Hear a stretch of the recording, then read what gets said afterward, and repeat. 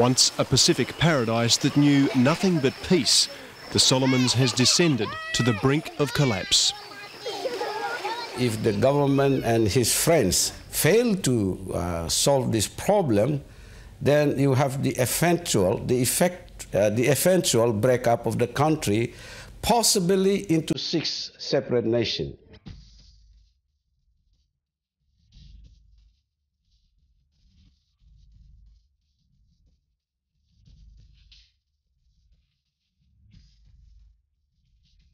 This is a clash over land and culture, a tribal conflict with modern weapons, whose warriors mix magic with gangster rap. We want our demands to be met by the government. We want the government to pay for our lands, our, our compensation for our land, and uh, uh, we've got compensation for our properties and our lives.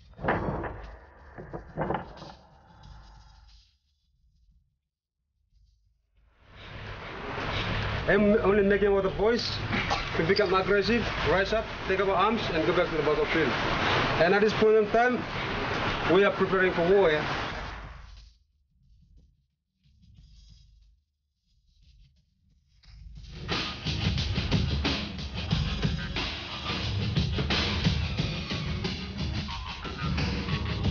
As a nation, the Solomon Islands were thrown together as an afterthought of retreating British colonialism.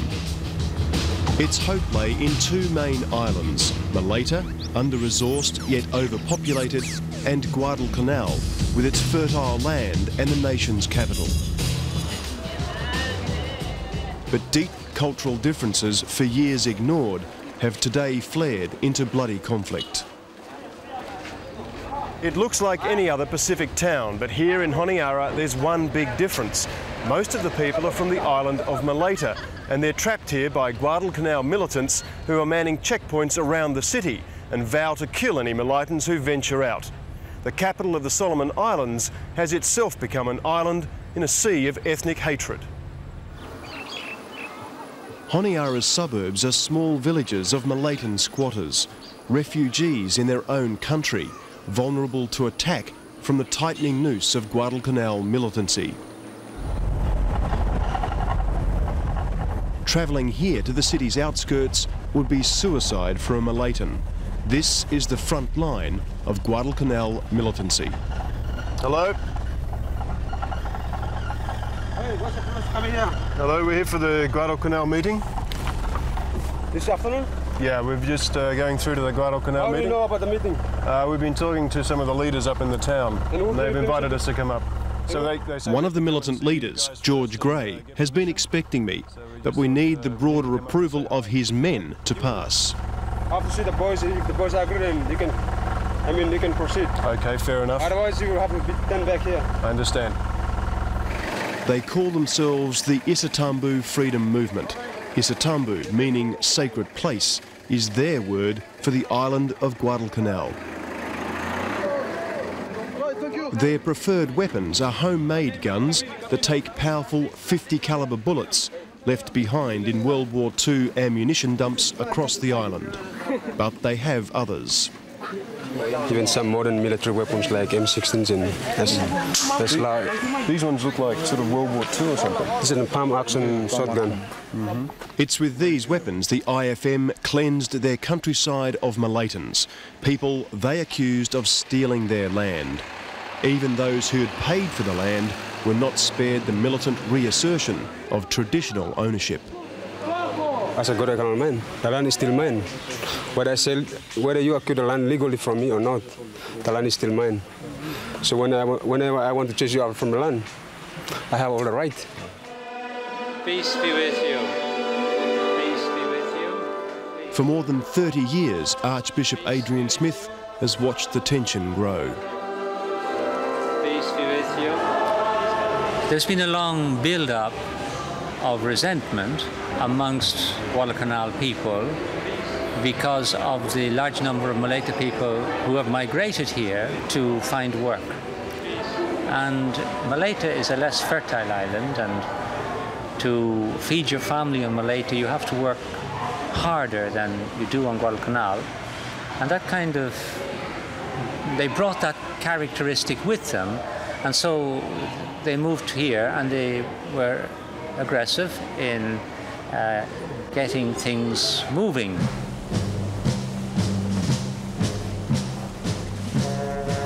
It's a clash with roots in the carnage of World War II.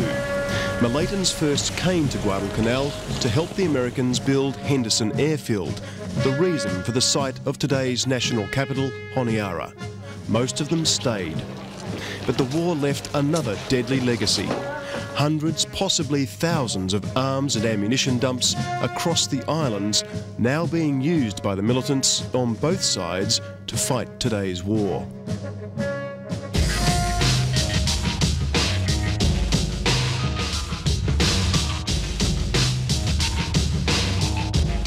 In Honiara, the Malaitans are digging in and fighting back. This is the Malaitan Eagle Force. Like the Guadalcanal militants, until this week they've been outlawed, so cover their faces to avoid arrest. They've armed not just to defend themselves, but to win what in Malaitan culture is demanded payback and compensation for Guadalcanal land the Malaitans were forced off but it's the money we need to begin our lives because actually the whole thing throughout this tension is that our lives have been fucking ripped off. And we want a total guarantee, the government would guarantee us a compensation for what we need, like our properties, yeah, and uh, lives and so forth. Their bill, 170 million Solomon Island dollars. An impossible sum for a government of an impoverished Pacific nation. It's a sum made all that much harder when the tension has brought the economy to its knees.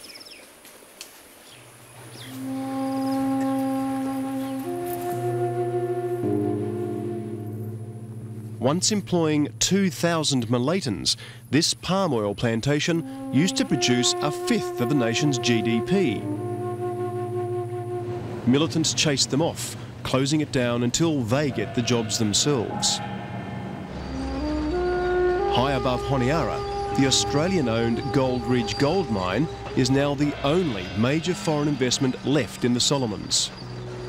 Its operation is totally at the mercy of the Guadalcanal militants, who so far accept its deal with local landowners, but have insisted that all Malaitans leave their jobs here.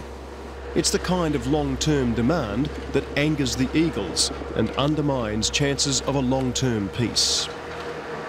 They have been killing, you know, innocent civilians, for example. And we've been giving them chances to solve this, like the government to step in, but the government won't do it. If the compensation doesn't come, is this thing going to get worse? For sure it would. It would go on until we come to the final stage where we would surely have to go to the end. It all started because of the land. The land is your mother. It is your life. This is where we are given birth. This is where we live, and this is where we will die. Commanding the unquestioning loyalty of his men, IFM Supreme Commander Andrew Te'e comes from the other side of the island, an unforgiving strip of land known as the Weather Coast. Undeveloped and largely untouched by the modern world, it's from there the cult of Guadalcanal nationalism first arose. It's a cult whose foot soldiers wear bark armour and believe specially blessed sticks protect them from bullets. The Malaitans, they come, they do not respect the land. They do not respect everything that is created and put in this land. That is the main cause of the problem. It was the frustration of the Weather Coast people who came and started driving these Malaita people out. And then the people on this side of the island became part of the movement, the militancy, the young people. And uh, there are so many young people with nothing to do. So a school dropout, standard six, now has a homemade gun and he's able to go up to your house at 12 o'clock at night and say, clear out. He suddenly has a new sense of. It's very of dangerous, power. though, isn't it? It's very dangerous. Uh, me still think that government have no follow the thing blame me. For Guadalcanal politicians like Sethial Kelly, it comes down to a tribal right to say who does what on their island. I think the issue is that we want some kind of autonomy to be given to the provinces so that people can make down laws. A key demand for Guadalcanal to control immigration has, he says, been ignored by successive governments since independence. It's question of protection to people, so we need that legislation. We cannot do that with the present system unless we amend the law so as to give power to people to decide their destiny. But while politicians talk, the militants are making their own decisions. Dressing in traditional kabilatu as a mark of identity and spiritual protection, Guadalcanal militants tightened their net around Honiara. And Westside Commander JD won't rule out going further if their demands are not met. This Honiara is just like in the middle of our hand. I mean, we just carry it. And if our answer to the government is not well answered, it's easily for us to close our hands inside town. Because this is the whole island that is surrounding, watching what will the government is doing. And if nothing is happening, then we just clean up on Honiara. I mean, the water, we have the power to close the water. We have the power to close the electricity. And that's the time when we'll try to chase out these Malaitans. What they don't have inland, the Malaitan Eagles make up for with better weapons than their Guadalcanal enemies, military-style training and powerful connections. There are high-level Malaitans in Honiara, in both the commercial and government sectors who are highly sympathetic uh, towards the, the, the Eagle Force members and who may be colluding with them in, uh, in an organized manner, but uh, in a hidden form. Malaitan lawyer Andrew Nori is the conduit for Eagle Force statements. A former MP who won't rule out running in next year's elections. Today he's trying to convince the Eagles to attend peace talks on the neutral Isabel Island. So we come now to find him out, if you like him take part, lot is for the peace discussions or no more. But fearing arrest under a decree banning them and their enemies as illegal societies, they refuse. Yeah, still some uh, conditions that the government have to be met with. And uh, for sure, we won't attend the peace talks down at Buala. In a measure of their growing power, the Eagles scuttle the talks by threatening any Malaitan who attends without them. None did. Within days, militant politics forces the Prime Minister to lift the ban so both groups can at least talk but he rejects their demands for a blanket amnesty. Well, they broke the law. you see, if we, if we pardon all of them, yeah, uh, like some of the critics are saying, you are setting a very dangerous legal precedent for the future. Yeah? The next place to rise is Western Province. Yeah? Because in the Western Province, there were more Malaitan on it than Guadalcanal. With no army, it's the police who are meant to be keeping the peace between the two warring armies. But with just a few hundred active officers, it's an impossible, dangerous job. We don't feeling, I mean, we don't feel very secure in Avia. Because unless we we have good training with good weapons, that will you know, secure us. And, but otherwise, we don't have much, you know. And there's a much deeper problem with the police. In today's Solomons, it's not the police badge that comes first, but where you come from, and the police are divided. Malaitan police are accused of aiding and arming their relatives in the Malaitan Eagle Force. Guadalcanal police accused of helping the IFM. 20 years after independence. Even the man charged by the Commonwealth with brokering a peace Fijian strongman Major General Sitiveni Rabuka admits ethnic allegiances override police impartiality. They'll be limited, they'll be restricted because of the, the, the strong cultural ties that they have. On both sides? On both sides. If we had a police force that is, uh, uh, so professional that it hasn't, doesn't have those cultural and uh, uh, traditional sensitivities, then we would have no problem. Unfortunately, the police is a reflection of society. Well, in a situation where law and order can no longer be upheld, where there's a breakdown in, the, in police networking, in the police firepower, the situation will give rise to, um, to um, criminal elements and the two militant groups taking control of their various sectors. And um, in the end, we will have a major confrontation between the two militant organizations supported by their own supporters. So a civil war um, is not um, a remote possibility. It, it is a possibility, in fact, a probability. It's the day of the Isabel Island peace talks, but just outside Honiara, there's little peace to discuss. Malayan Eagles have just shot up this village. It's a provocative action with a political message. No eagles, no talks. In response, 200 Guadalcanal militants have now moved their frontline checkpoint to within a few minutes of the city. We try to respect the peace talk which are going on at but the Malayan Eagles are creating some problems here, so we have to come here and take care of our people. While we're here, the militants spot a truck. If the driver had been Malayan, he would have been killed on the spot.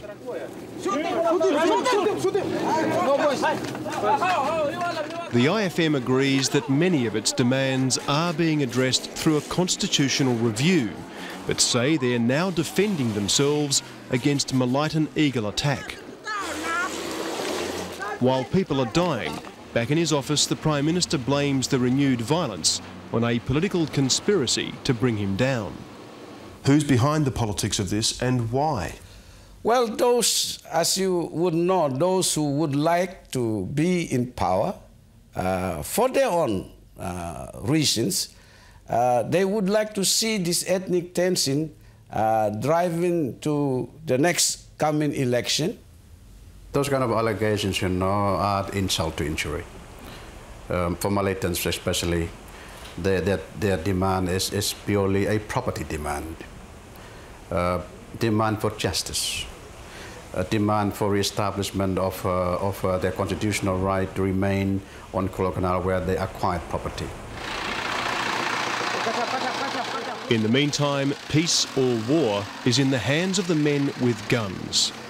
With the ban lifted, they may agree to a temporary ceasefire, but they will not disarm.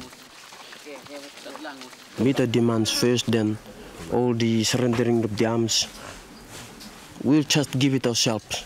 Do, uh, we do not need the government or the police to come and collect now. We will give it ourselves. How important is an amnesty for you guys before you can proceed? At the moment, we see amnesty. It's good, but it needs some kind of good investigation inside. Because for us, we personally believe that the Eagle Force were formed by or held by some police officers. So we want the government to do something. It's the grave of my brother, Davidson. Mourned by his village, Davidson Maru died a horrifyingly symbolic death simply because he was from Guadalcanal. So he was then stolen and stamped, then they chopped his, his head down, uh, off. We pray that you will accept his soul. Abducted from outside a nightclub, he was decapitated, his headless body dumped in Honiara's main market. I pray, O oh Lord, that may his soul rest in peace. Davidson was the first to die here in this way in more than a hundred years. But as both sides dig in for difficult demands on a backdrop of revenge killings and a new election, he probably won't be the last. Pray and ask all these things. In Jesus' name. Amen.